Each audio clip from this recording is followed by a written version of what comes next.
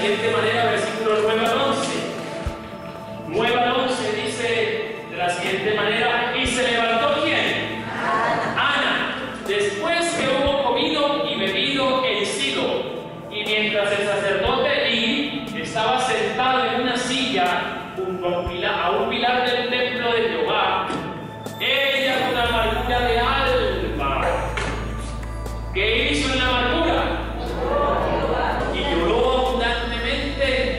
hizo voto diciendo, Señor de los ejércitos, si te dignares mirar a la aflicción de tu sierva y te acordares de mí y no te olvidares de tu sierva, sino que dieres a tu sierva un hijo varón, ¿qué hará?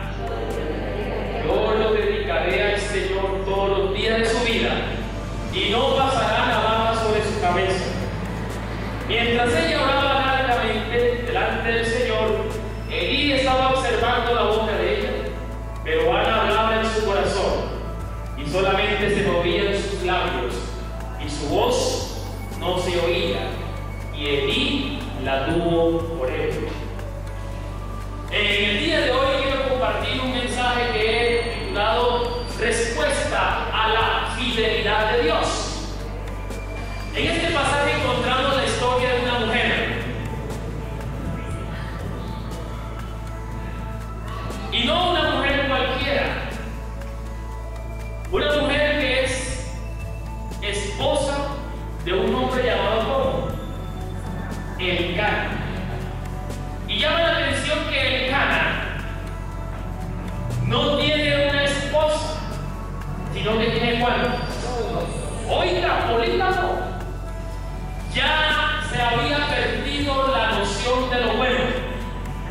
Se había perdido la noción de qué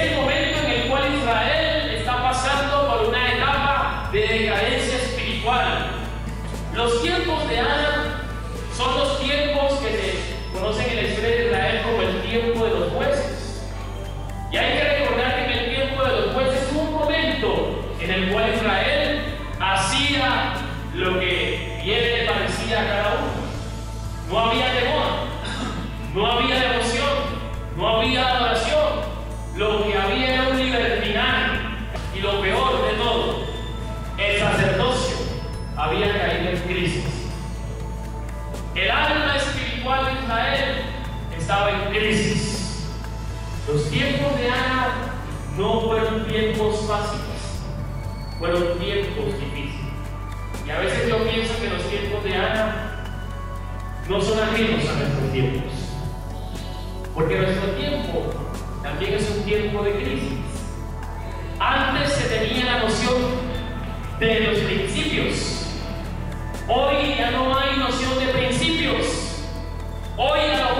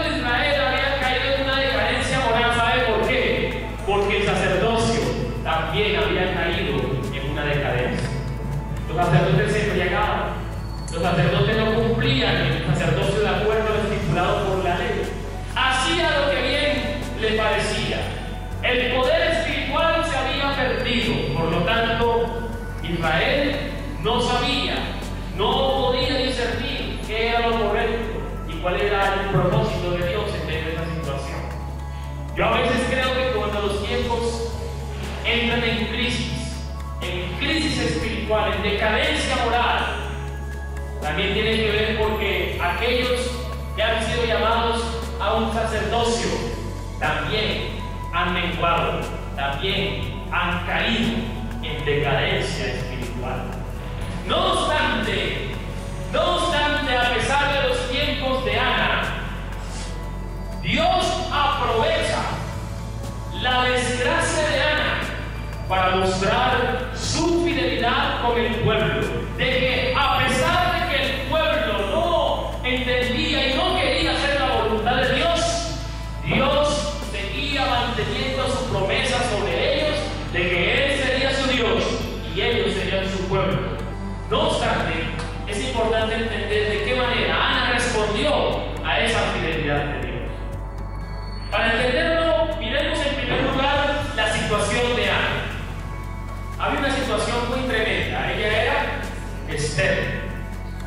No podía tener hijos.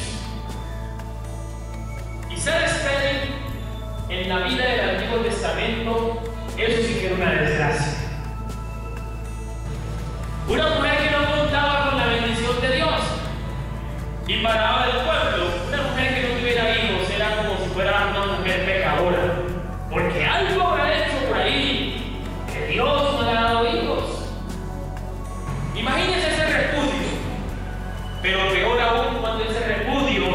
está en su casa. Ana no podía tener hijos, era estéril. Así que el Cana, de acuerdo a la costumbre de los pueblos paganos, ¿qué hizo?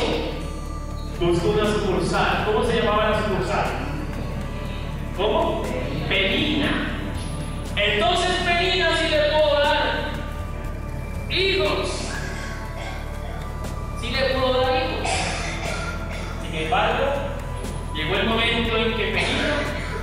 miraba por encima del hombro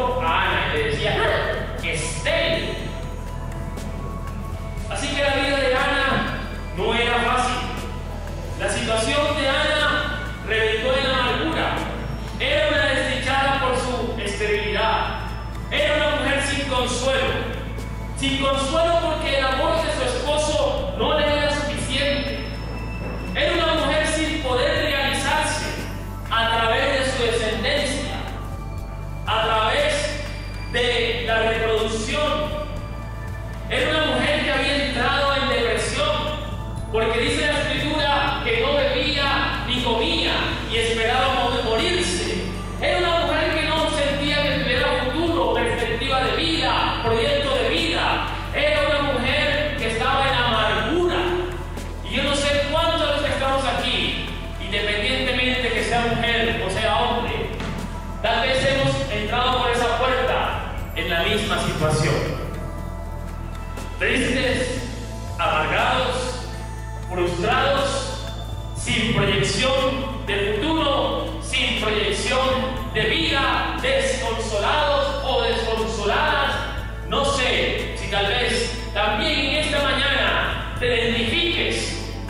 situación de Ana.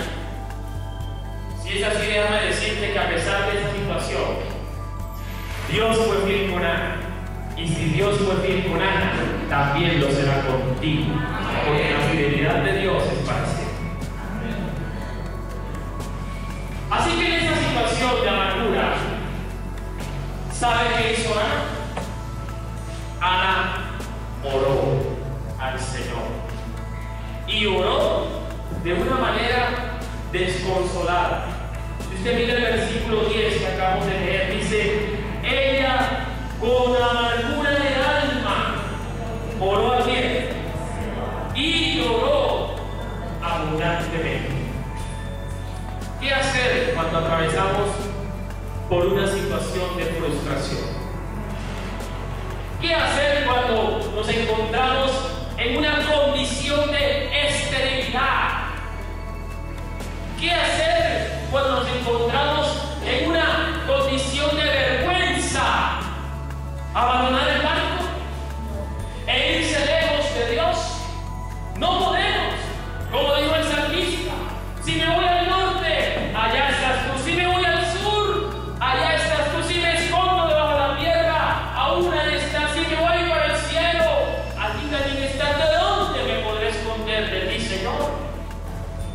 queda otra sino que orar. Pero orar de manera auténtica. Orar de manera transparente. Orar de manera sincera. gracia.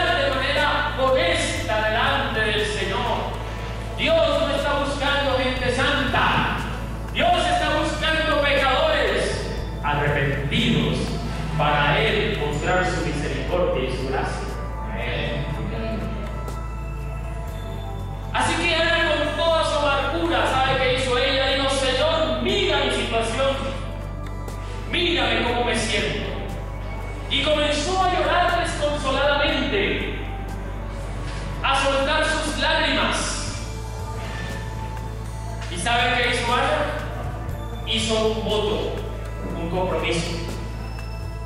Y dijo, Señor, si te acordaras de mí, si me dieras un hijo varón, ¿qué haré? Te lo entregaré, te lo dedicaré toda la vida. Esta mujer entonces lloró desconsoladamente y se fue a los pies del Señor y entonces comenzó a llorar. Desbordó su amargura delante de la presencia del Señor. Hermanos, es importante entender que en el tiempo difícil a quien debemos de buscar es a Dios. En el tiempo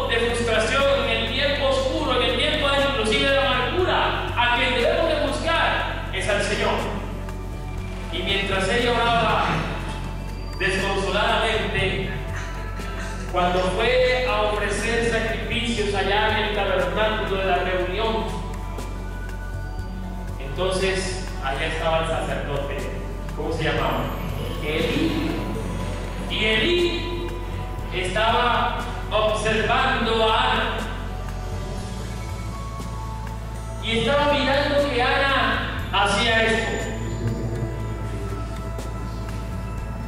entonces Elí dijo, uy, esa mujer está como, está borracha. ¿Y sabe por qué Elí estaba diciendo que esa mujer estaba borracha? Porque la no juzga por su condición. Yo me preguntaba por qué el pasaje, por qué el pasaje detalla que Ana, cuando está haciendo el voto delante del Señor, ella solo mueve los labios habla con su corazón a Dios. Mientras tanto el sacerdote observa sus labios y no entiende lo que dice, entonces considera que está él. Si uno revisa números capítulo 30, ahí se da cuenta de que el Señor había estipulado diversas maneras de establecer un voto con el Señor. Y ahí se dice que si una mujer establecía un voto y su esposo lo oía y su esposo decía, sí hija, estoy de acuerdo contigo, entonces ese voto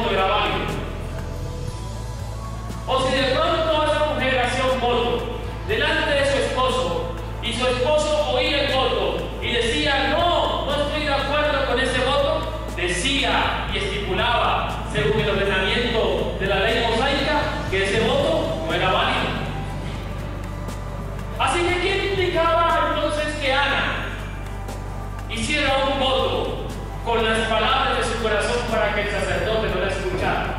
En realidad, estaba desarrollando y haciendo un voto de manera sincera. Con un voto con toda la convicción. Había,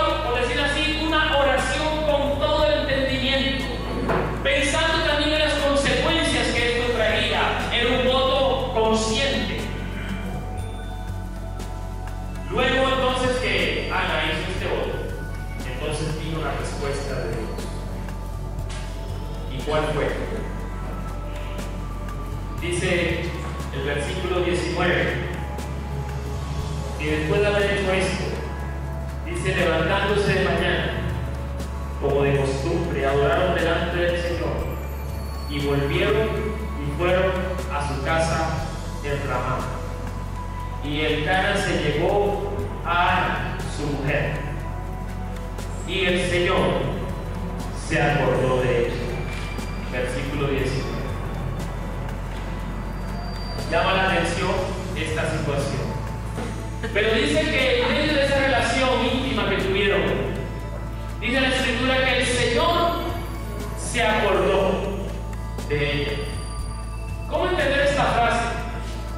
¿Será que el Señor se olvida de las oraciones?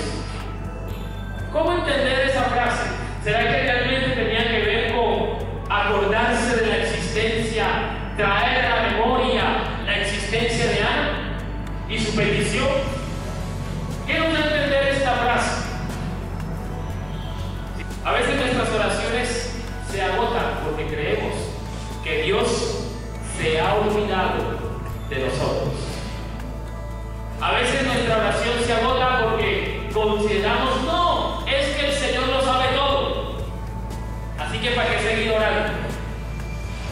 hay que orar con perseverancia. ¿Sabe por qué? Porque es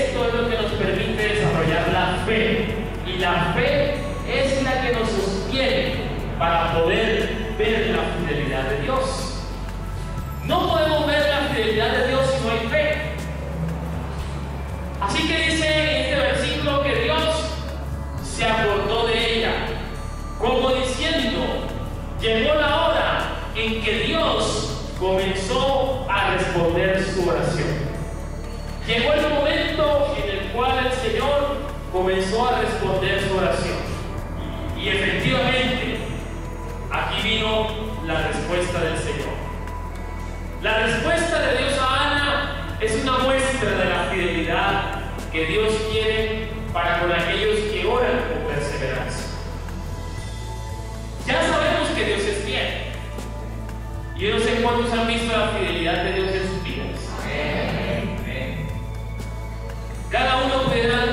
y decir, mire, yo he visto la fidelidad de Dios aquí y en este asunto y en esta otra situación. Y hasta aquí hemos notado que a pesar de la situación de Ana, una situación de vergüenza y de, y de deshonra, Dios respondió la oración de Ana porque es fiel y su fidelidad es para siempre. Pero ahora viene la otra parte. ¿Y cuál es fidelidad de Dios? ¿Cómo vamos a responder a la fidelidad de Dios? No sé cuántos de los que están en esta mañana puedan decir levantando su mano, Dios ha sido fiel conmigo. Miren cuántos testimonios hay ahí sentados. Y la pregunta de esta mañana, ¿y cómo tú respondes a la fidelidad de Dios? Si Dios actúa con su y si tú la has visto en tu vida a través de los ojos de la fe, escucha bien, Dios quiere que hagas algo. Dios quiere que respondas a su fidelidad. ¿Sabe qué hizo Ana? Ana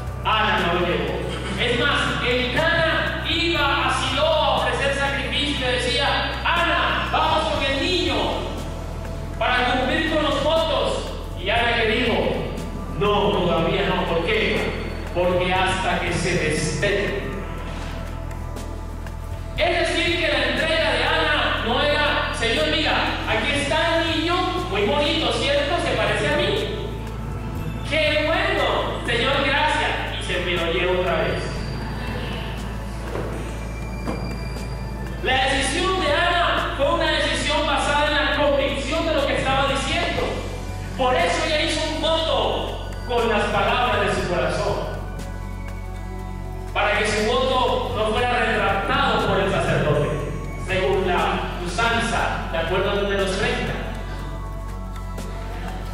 Ella cuando hizo esta entrega, lo hizo con todo. Lo hizo sin reservas. Lo hizo conscientemente. Así que Ana lo, lo y lo entregó. Ojo que no fue dedicado, fue entregado. La respuesta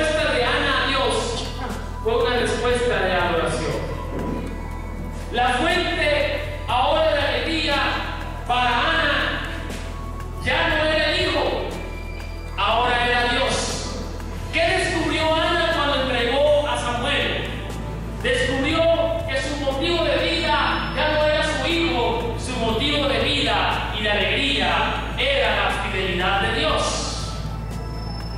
Así que lo entregó. Y cuando lo entregó, entonces Ana comenzó a cantar, capítulo 2, el cántico de Ana. ¿Sabe qué cantó Ana? Ana cantó la soberanía de Dios, el Dios que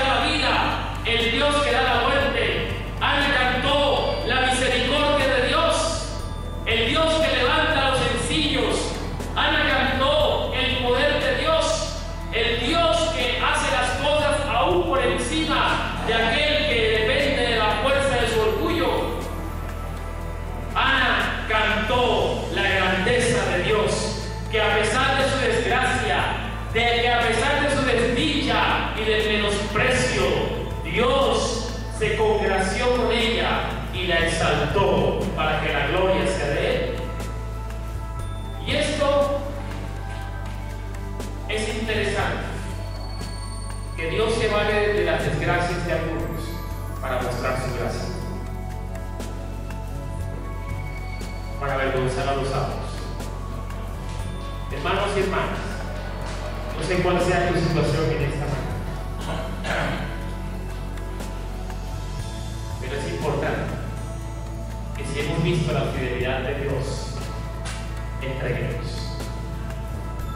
¿Qué te está pidiendo el Señor? No lo sé. ¿Qué voto has hecho? No lo sé. ¿Qué compromiso has hecho en tu corazón? No lo sé. ¿Lo estás cumpliendo? No lo sé. Pero el Señor espera que entreguemos. Porque dice la Escritura que después que ella entregó su hijo, en el capítulo 3 o al final del capítulo 12 dice que Ana tuvo más hijos. Tuvo tres varones y dos mujeres. Eso pasa cuando uno entrega. Eso pasa cuando uno dedica. Eso pasa cuando respondemos a la fidelidad de Dios. Dios no se queda con nada. Él es Dios y punto. Pero Él quiere que entreguemos, Él quiere que consagremos, Él quiere que adoremos para que nuestra vida sea transformada y para que la gloria al final sea de Él y nos demos cuenta que lo máximo en la vida es su santo nombre. Amén. Cuando dicen amén. amén.